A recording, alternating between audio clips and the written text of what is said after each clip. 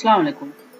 We have covered the extensive detailed answers. Now we're going to start the short answers of chapter number 3 biodiversity.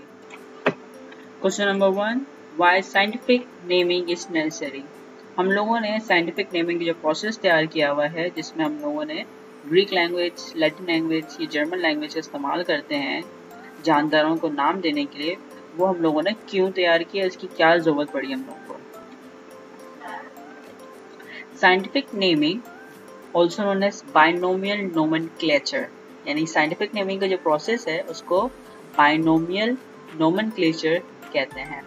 Is necessary because this avoid the confusion that often arise from the use of common name to designate different things in different places और from the existence of several common names for a single species अब इसको तैयार करने का मकसद क्या था? इस सिस्टम को ताकि जो कन्फ्यूज़न होती है अक्सर डिफरेंट लैंग्वेजेस में डिफरेंट नेम्स की वजह से लेट्स सपोज़ अगर आप फ्रांस में चले जाते हैं तो आप जो है बिल्ली को क्या बोलेंगे? तो उनकी लैंग्वेज में बोलना पड़ेगा। अगर आप जर्मनी चले जाते हैं तो बिल्ली को आपको उनके नेम में लेना पड़ेगा। तो डिफरेंट कंट्रीज़ में आपको डिफरेंट नेम्स लेना पड़ेगा। तो इस मसले मसाइल से बचने के लिए बायोलॉजिस्ट ने साइंटिफिक नेम इंट्रोड्यूस किया। अब साइंटिफिक नेम में उन्होंने क्या कहते हैं, एक नाम फिक्स कर दिया कि बायोलॉजी के अंदर हम इस जानवर को या इस प्लांट को इस नाम से पुकारेंगे तो आप दुनिया के किसी भी कोने में चले जाएँगे, आप लोग अगर साइंटिफिक नेम यूज़ करेंगे लाइक like सपोज़ अगर आप जो है किसी भी दुनिया के किसी भी मुल्क में चले जाएँगे और आप कहेंगे राना टिग्रीना, दुनिया के हर मुल्क में जानते हैं ये लोग कि राना टिग्रीना का मतलब है फ्रॉग यानी मेंढक। तो उससे क्या होगा कि आपको जो है उनकी लैंग्वेजेस जो है इतना आपको कंफ्यूजन नहीं होगी। तो इस वजह से साइंटिफिक नेमिंग यानी बायनोमियल नोमेनक्लेचर का मेथड है, वो इंट्रोड्यूस किया गया था। Question number two how living organisms are classified into two kingdom classification? जो जानदार हैं, उनको दो किंगडम के हिसाब से किस तरीके से क्लासिफाई किया गया था, वो हमें बताना previously the organisms were classified into two groups पहले के वक्त, पुराने वक्त में, जितने भी जानदार थे, उनको दो ग्रुप्स में डिस्ट्रीब्यूट करके रखा हुआ था। Plant kingdom this organism possess cell wall यानी वो ऑर्गेनिज्म वो जानदार जिनके पास सेल वॉल होता था, उनको प्लांट किंगडम में डाल दिया था। शोड नो लोकोमोशन जो मूव नहीं करते थे, उनको भी प्लांट किंगडम में डाल दिया था। Slow response to external stimuli यानी कि अगर उसके साथ कोई हरकत करते थे तो उसमें अगर जवाब बहुत आराम से मिलता हो तो वो प्लांट किंगडम में डाल दिया करते थे। Absence of conductive and contractive system यानी कि कोई मूवमेंट का, या ट्रांसपोर्टेशन का जो सिस्टम था, वो जिसमें नहीं था, उन सारे ऑर्गेनिजम्स को प्लांट किंगडम में डालते थे एंड डज नॉट ईट यानी कि जो इनको लगता था कि प्लांट जो है नहीं खाते, क्योंकि ऑफकोर्स ये लोग प्लांट खुद ही तैयार करते हैं अपना खाना फोटोसिंथेसिस के तौर पे, लेकिन उस वक्त इस बात का इलम नहीं था तो ये लोग समझते थे कि प्लांट्स खाना खाते ही नहीं है। तो इस लिहाज से जो ऑर्गेनिज्म खाना नहीं खाते थे ट्रांसपोर्टेशन सिस्टम नहीं रखते थे स्टिमुलाई पे स्लोली रिस्पॉन्स करते थे मूव बिल्कुल भी नहीं करते थे और सेल वॉल रखते थे, उन सारे ऑर्गेनिजम्स को प्लांट किंगडम में डाल दिया गया था। अब एनिमल किंगडम में किन जानवर को डाल दिया गया था? उन जानवर को जिनके पास does not possess cell wall जिनके सेल्स में सेल वॉल नहीं था शोस लोकोमोशन यानी जो मूवमेंट शो करते थे लोकोमोशन मतलब मूवमेंट जो मूवमेंट शो करते थे fast response to external stimuli यानी अगर कोई स्टिमुला होता था तो उस पर फास्टली, क्विक रिस्पॉन्स देते थे। Presence conductive and contractual system, यानी ट्रांसपोर्टेशन सिस्टम नज़र आता था एंड ईट्स यानी कि जो जानवर खाते थे, जिनके पास ट्रांसपोर्टेशन सिस्टम था, जो एक्सटर्नल स्टिमुला पर रिस्पॉन्ड करते थे, जो मूव कर सकते थे, और जिनके पास सेल नहीं था, उन तमाम जानवर को एनिमल किंगडम में डाल दिया गया था।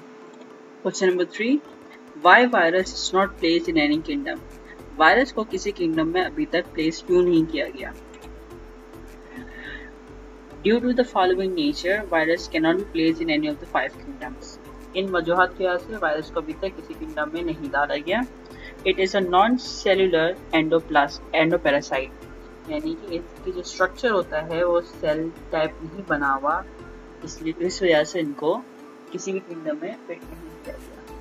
Number two it does not have cellular organization but does have nuclear material either DNA और आरएनए यानी इनका जो सेल है, उसके अंदर ऑर्गेनाइजेशन सेल ऑर्गेनाइज होना चाहिए, यानी कि जो मेम्ब्रेन्स होने चाहिए इनके पास, ये ऑर्गेनल्स होने चाहिए थे, वो मौजूद नहीं है।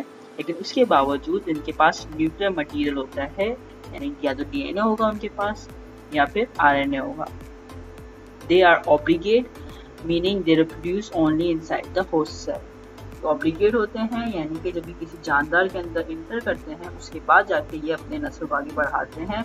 जब तक ये बाहर होते हैं इनकी नस्ल आगे नहीं बढ़ सकती, ये रिप्रोड्यूस नहीं करते। इस वजह से वायरसेस को किसी भी फाइव किंगडम में से किसी भी किंगडम में इंक्लूड नहीं किया गया। Question number four draw chart showing three kingdom classification एक चार्ट ड्रॉ करें जिसमें थ्री किंगडम क्लासिफिकेशन को दिखाया गया हो, कि उनकी क्या क्या कैरेक्टरिस्टिक्स हैं कौन कौन से नेम्स हैं, वो सब कुछ हमें एक चार्ट के थ्रू शो करना है। अब जो थ्री किंगडम सिस्टम है, उस दौरान किंगडम एनिमेलिया किंगडम प्लांटी और किंगडम प्रोटेस्टा है। किंगडम प्रोटेस्टा के अंदर टिश्यू सिस्टम नहीं होता और इनकी जो लेवल्स हैं, वो सेल तक महदूद होता है। इन सेल से आगे जो टिश्यू सिस्टम होता है, या ऑर्गन सिस्टम होता है, वो नहीं होता। इनका जो मोड ऑफ़ न्यूट्रिशन है, खाना खाने का, खाना ले हासिल करने का जो इनके पास मोड है दैट इज़ डाइवर्सिफाइड यानी डिफरेंट ऑर्गेनिज्म्स में डिफरेंट यानी ऑटोट्रॉफिक भी हो सकते हैं ये, और हेट्रोट्रॉफिक भी हो सकते हैं। यानी अपना खाना खुद भी तैयार कर सकते हैं, और अपना खाना दूसरे जानदार से भी हासिल कर सकते हैं।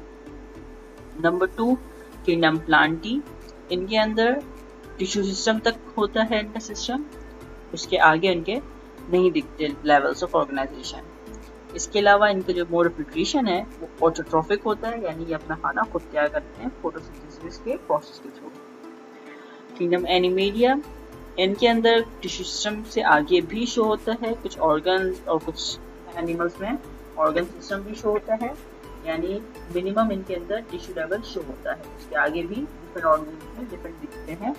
इनका जो मोड ऑफ़ न्यूट्रिशन है एट्रोट्रॉफिक है, यानी कि ये अपना खाना दूसरे जानदार से हासिल करते हैं। Question number five why amoeba is not place in animal kingdom amoeba को एनिमल किंगडम में क्यों प्लेस नहीं किया गया? Amoeba is not consider part of the animal kingdom because they are unicellular animal kingdom में इसलिए इंक्लूड नहीं किया गया अमीबा को बिकॉज़ दे आर यूनिसेलुलर वो सिर्फ़ वन सेल के बने हुए हैं। जबकि एनिमल किंगडम की डेफिनेशन के हिसाब से कैरेक्टरिस्टिक्स के हिसाब से एनिमल्स को मल्टी सेलर होना ज़रूरी होता है। यानी मल्टी सेलर होता अगर अमीबा तो उसको एनिमल किंगडम में इंक्लूड कर दे। लेकिन क्योंकि वो मल्टी सेलर नहीं है, वो यूनिसेलर है, इसलिए उसको अमीबा को एनिमल किंगडम से निकाल दिया गया है। Question number six why cyanobacteria are place in monera cyanobacteria को मोनेरा के अंदर क्यों इंक्लूड किया गया है